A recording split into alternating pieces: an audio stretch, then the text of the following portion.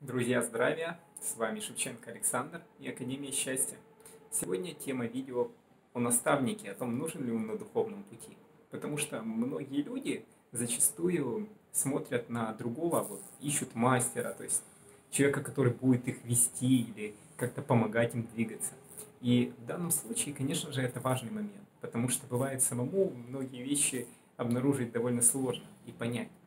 Но опять же таки, что такое наставник? То есть может быть какое-то такое довольно жесткое наставничество, когда человек точно говорит, вот делай это, делай то, то есть этот шаг первый, этот второй, третий, да, и человека ведет вот шаг за шагом, да, то есть давая ему возможность просто выполнить определенные действия.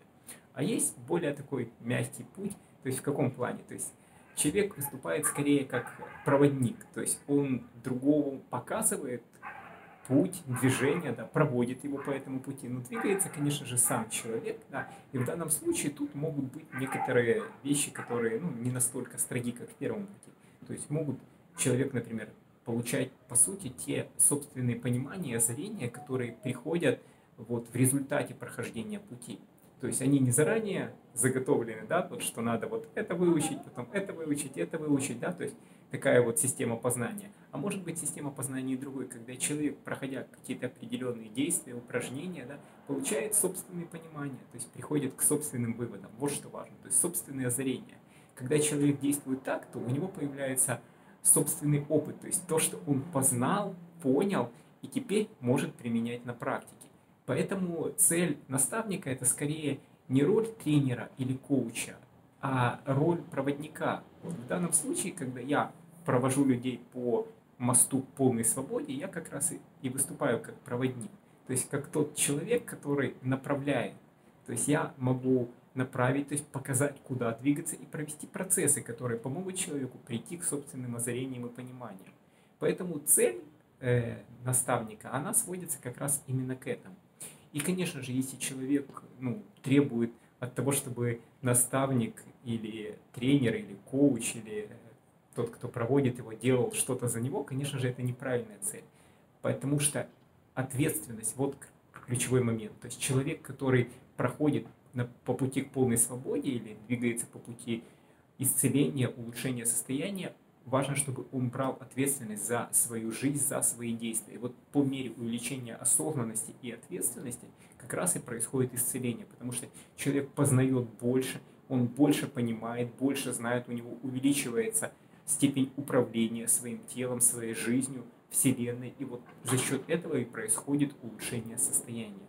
Поэтому цель – это передать больше ответственности. Вначале, да, конечно же, больше ответственности у проводника, у мастера, того, кто проводит человека. Но потом он постепенно возвращает эту ответственность тому, кто идет. То есть он дает ему все больше и больше ответственности. Соответственно, в конце этого пути человек уже берет ответственность полностью на себя. То есть он становится настолько осознанным, что он готов взять эту ответственность за себя и потом, когда он познал это, вести уже других людей, то есть брать ответственность за других. Соответственно, каждый это ну, чувствует в какой-то момент времени, да, то есть потому что нету какого-то четкого критерия, вот, что нужно столько-то там дней, месяцев или лет или жизней для того, чтобы там достичь состояния свободы, просветления, улучшить, улучшить свою осознанность. У каждого это свой путь. И сам путь, он складывается из таких маленьких шажков, то есть постепенности. То есть когда немножко увеличили осознанность, потом еще немножко. То есть не стоит пытаться решить, эм, ну, например, какой-то техникой или там с помощью чего-то все одним махом, да, то есть, конечно, это как такая, как одна таблетка. То есть такое не происходит. Происходит, когда человек постепенно исцеляется шаг за шагом.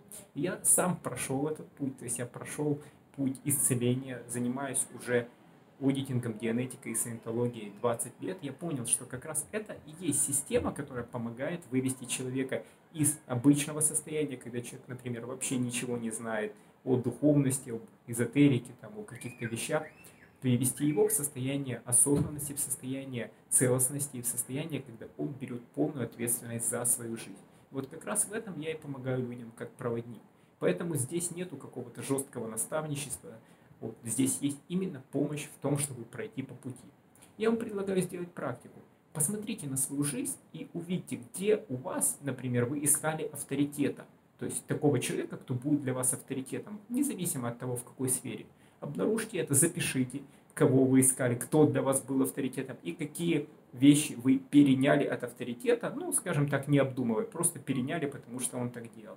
И вот обнаружьте эти случаи, пройдите их по, по процессингу, так как я рассказывал в прошлых видео, перепроживите и уберите оттуда вот это вот суждение, когда вы переняли их без того, чтобы разобраться в том, как это работает. То есть уберите оттуда неосознанность, соответственно, вы сможете многие авторитетные суждения просто убрать из своей жизни и действовать осознанно, целостно и действовать так, что вы будете сами принимать собственные решения, потому что у каждого есть право на собственную разумность право покинуть любую игру, которую он не хочет играть.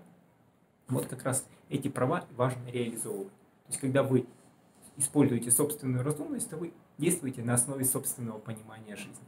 Вот на этом, друзья, у меня все.